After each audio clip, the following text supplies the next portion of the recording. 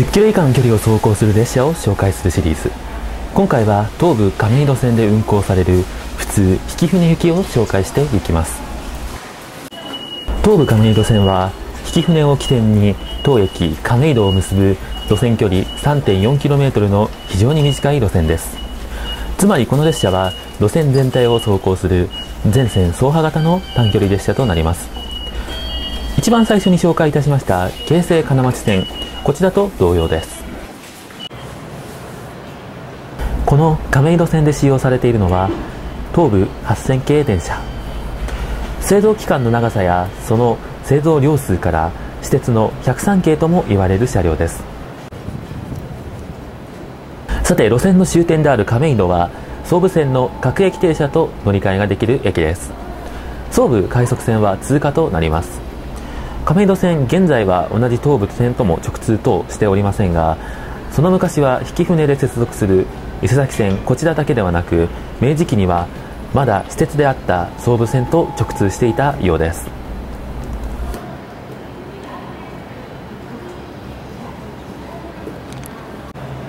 この亀戸線というのは東武鉄道の歴史を語る上で非常に重要な路線です。東武鉄道はその昔本所現在の東京スカイツリー駅の辺りから越中島まで路線を延長する計画を立てていました。ただその本所から越中島までの免許がなかなか下りずひとまず北千住区間で路線が開通いたしました。その後本所経由ではなかなか越中島方面への免許が下りないということで現在の引舟から分岐し亀戸を経由して越中島に至る路線の計画が立てられました。この亀戸までの部分が今日の東武亀戸線となります。先ほどもご案内した通り亀戸まで開通した当路線は総武鉄道現在の総武本線と直通運転をし両国橋現在の両国まで運行をされておりました。この両国橋まで直通運転を行っていた時代というのは亀戸引舟間は本線格扱いの路線だったそうです。ただご案内の通り総武本線というのは現在 JR 東日本旧国鉄の路線です。総武鉄道は国有化されることになります。その際にターミナルを吾妻橋現在の浅草に戻し亀戸曳舟間は支線ということになりました。